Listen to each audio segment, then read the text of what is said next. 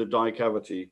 Also on the die, there are vents uh, which allow all of the gases uh, to come out because one of the main uh, properties of permanent mold castings is that they are porous free and uh, they are a pressure tight casting. The picture also shows roughly what the, the part would look like that comes out of this uh, tool set. The, the two halves um, are pulled together and then clamped using the clamp that you can see on the right hand side. As Doug said earlier, it's um, a pretty manual uh, process. The actual molding process, the two halves of the die are sprayed with a mold lubricant to help release the, the part after it's been poured in. The mold is initially heated to about 500 uh, degrees using gas burners. The mold temperature does rise during the, the casting process as you cast more and more parts. So for higher volumes, the, the molds can be water cooled. The die halves are clamped together and then the molten metal is poured in at approximately uh, 2100 degrees Fahrenheit. And the, as I said before, the, the metal is poured into the uh, pouring basin. So as we pour that metal in, we have to allow it to go from a, a liquid state, you know, viscosity into a uh, solid part, or we call solidified. Typically it takes eight to 10 seconds on an average, but it can vary depending on wall thicknesses, the alloy. Um, there's varying different things that can offend that. But, but essentially, uh, we're taking a, a liquefied, you know, furnace metal, pouring into a, a cavity, and we need to allow it to solidify so we can pull it back out. So once it's become hardened, and again, we calculate this, we open the die back up and we pull it back out of the die and restart the process. After the fact, we take that part and it's then fettled. Uh, we basically remove the runner and any flash or uh, any other um, in information or things that we see on the die that shouldn't be there. In permanent molding, um, at Bunting at least, we are primarily a bronze permanent molding house and we do some aluminum um, alloys. Um, as you can see by the chart, there are a number of different alloys that can be um, permanent molded, but we do have limitations. Um, because of the process and the flow of metal into the dies, there are certain metals that we simply can't continuous or we can't permanent mold because there are limitations on how it will flow through the die as far as creating uh, voids and other issues. So this is a good listing of alloys that we would typically see. You'll notice, for instance, uh, 932 is not on this lead on this uh, list. It's a leaded alloy. It does not um, allow itself really to be permanent molded. So there are limitations on alloys. Most of the alloys that you'll see are what we call short freezing range alloys. Correct. Yep. So kind of the whole reason for doing this. Uh, permanent molding is probably a um, competency that most of you probably don't recognize bunting um, for. It is something we've done for many, many, many years. Um, it is a way to uh, design and manufacture a part to a near shape set of dimensions. Um, and it's much more cost effective to do this for certain applications where we can get a near shape and only have some machining required to no machining required, depending on what it is. So, so we're hoping to give you a little insight to this particular process. Again, it's probably something most of you aren't that familiar with, but it's something we've done for a lot of years. So why, you know, why do, why do people do it? There's typically a number of reasons why people decide to sand cast, permanent mold, die cast, investment cast, and so on and so on. You know, generally you're looking at the geometry of the part, the speed at which you need to make it. You know, if it's something you're making 300 parts a year versus 3 million parts a year, it's going to dictate what process you want. Tolerances, uh, we can we can hold certain tolerances as a near shape product. Machining requirements, you know, we can add or take away machining requirements depending on what you pick. Tooling costs. Um, permanent molding requires a steel die. Clearly there's some machining. Sand casting does not have a steel die. Um, so there's different costs. Die casts are generally more expensive than a permanent mold typically. Um, so again, there's a lot of reasons why you might pick one of these molding processes to, uh, to get into the bronze marketplace. So benefits, why would you do permanent mold or other, other um, opportunities? It's, it really does have a rapid solidification, which creates a fine grain structure, similar to continuous cast and some of the other things that you're familiar with. So we do pick up a very superior metallurgical and mechanical set of properties in comparison to sand, because sand does not have a metal die, it's a sand. Um, heat isn't taken away as quickly um, in sand as it is in metal, so we can get a better uh, grain structure and so forth. So there's a lot of enhancements having a steel die over a sand cast uh, die. Smooth filling. Um, gate designs are really important in this process.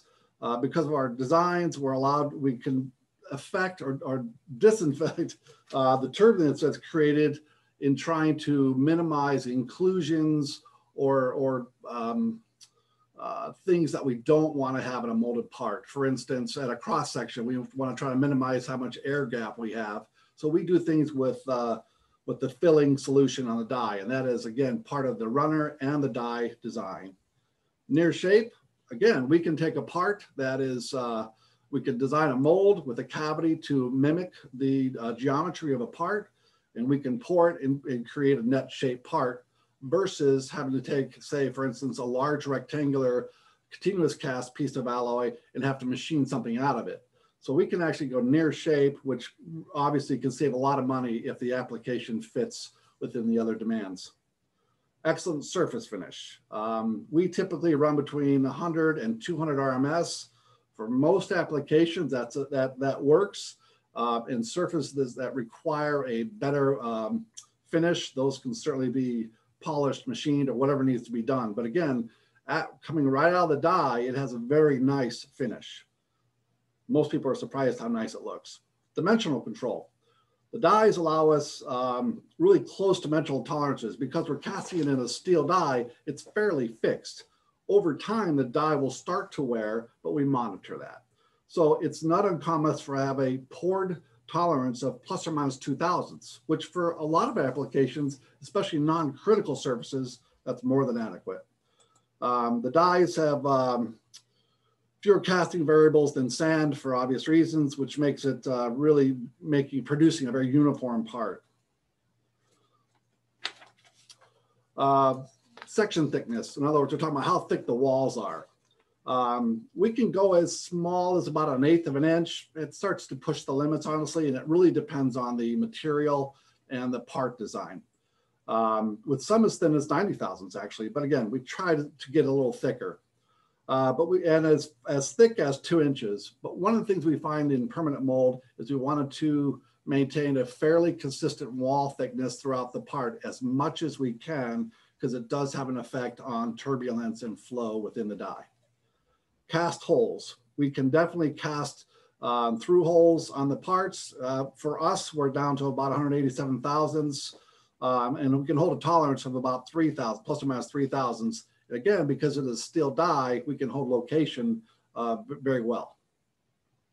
Um, and many times that, that eliminates the need to have to drill holes. Many times we can take apart and simply tap it, it's done. So again, we don't have an extra machining step metal inserts. Um, if there's a requirement for some kind of a um, insert or an overmold type of um, idea, we can actually insert, for instance, we do a job that we put a metal shaft in, overmold it. So when that bronze part comes out, it has the shaft extending from the part. It's all molded in and uh, obviously saves a lot of time and money and then allows them to achieve their desired results.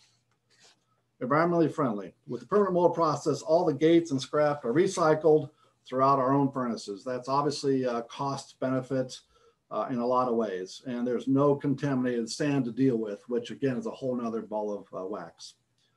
And uh, typically, a permanent mold alloys contain no lead for the folks. Obviously, that's becoming a pretty big deal these days. Okay, so down to our parameters. Um, at Bunting, the, the volume per annum is the minimum is around about 400, uh, 500 and we go up to 400,000 uh, parts per, per annum, but that, those all depend on the size. The maximum size that we can do in any one uh, direction is 15 inches, and the minimum is 3 eighths. Uh, our weight, our maximum weight we can do is about 15 pounds, but as I said, some other producers we know that can go up to uh, 400 pounds. And the minimum weight we do is about four ounces. So we go from very small to, to pretty large parts. as Doug said before, we tried to keep the uh, the wall thicknesses um, even throughout the part to uh, to give us a better part and cut down the turbulence in the tool. But we can go to a maximum wall thickness of about two inches, and we can go down as thin as an eighth of an inch. These uh, give you this gives you an idea of some of the markets that we're dealing with. So that's a wide range of markets, uh, from welding e equipment to CNC machines, ATM machines, um, pneumatic equipment, furniture, pumps, forestry equipment. Um, so there's a whole range of uh, markets out there uh, for you to, to attack. And when you're trying to sell them the, the bronze bar or aluminum bars or steel bars, uh, there's a lot of components that we can make for the, all of these different industries. As an example, just I, you know, I know a lot of people think, well, where can I use this or how can I use this to sell more product within your companies? Um, as an example, I was in a machinery builders facility a few years ago, and I noticed they were making some L-shaped um, wear plates for a uh, pretty large volume rebuilding process they were doing. And I noticed in the in this wear plate was about three inches wide by about two inches um, in width and well, somewhere around six or seven inches long. And they were literally taking a, a, a standard rectangle size alloy and machining this, this L-shaped, essentially wear plate.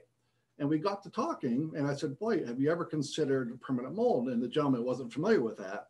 So we ended up sitting down, taking his part, the, the print that he was making it to, and I got it quoted as a permanent mold.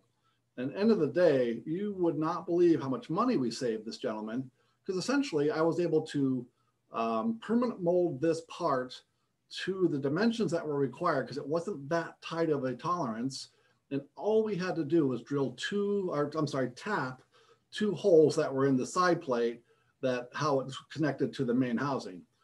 And this was a pretty large volume opportunity. So this gentleman for about three years was literally buying a really large rectangular plate and doing all this machining. He had well over 60% chip coming off this uh, machine.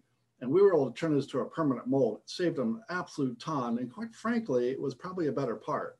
So it's one of those things where you have to look at when you're into shops and your people are, are walking through plants and shops and talking to buyers. Um, it's amazing how many different kinds of opportunities there are to quite frankly save them money and quite frankly at the end of the day provide opportunities for you and your company. So there are lots of different ways to attack it. The way to think of it really, if you look at the picture in the front page, it's a near shape cast part. So you can look at some of those parts and imagine if you had to machine those out of some round stock or some rectangular stock. So you can imagine um, what kind of savings there can be. The key is it has to be some volume to get over the capital investment up front. That's really the nook and cranny and obviously meet the mechanical requirements. Okay, um, that's basically from us. Uh, we are open for the questions. Wonderful. Thank you so much. We have not had any questions come in at the moment, but I will remind everyone that you can type in your questions at the Q&A box at the bottom of your screen.